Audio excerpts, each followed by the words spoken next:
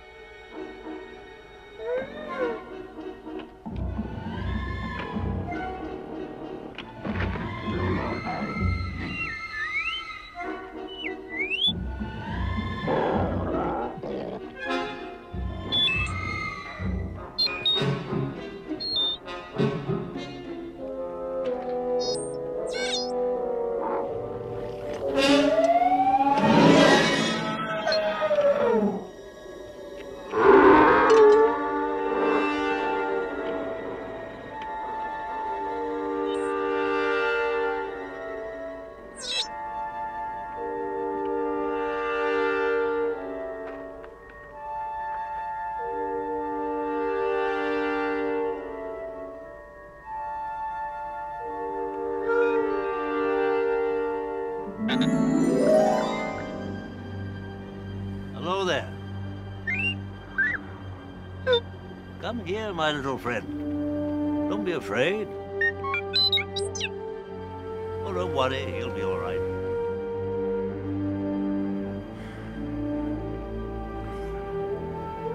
Rest easy, son.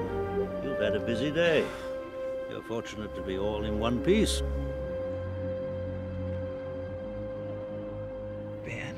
Ben? Kenobi? Boy, am I glad to see you. The Jundland wastes are not to be traveled lightly. Tell me, young Luke, what brings you out this far? This little droid.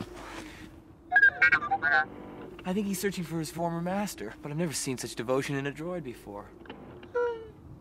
Uh, he claims to be the property of an Obi-Wan Kenobi. Is he a relative of yours? Do you know who he's talking about?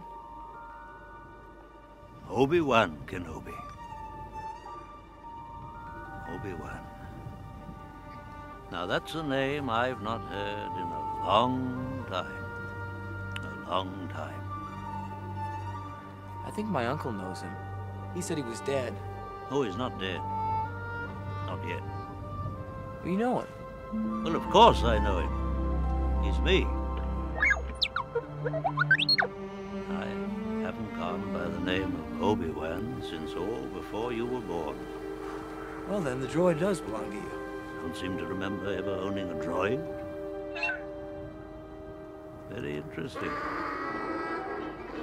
I think we better get indoors.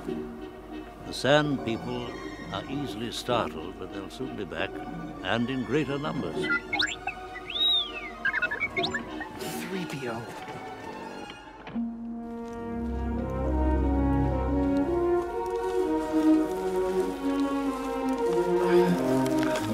Where am I? I must have taken a bad step. Can you stand? We've got to get out of here before the sand people return. I don't think I can make it. You go on, Master Luke. There's no sense in you risking yourself on my account. I'm done for.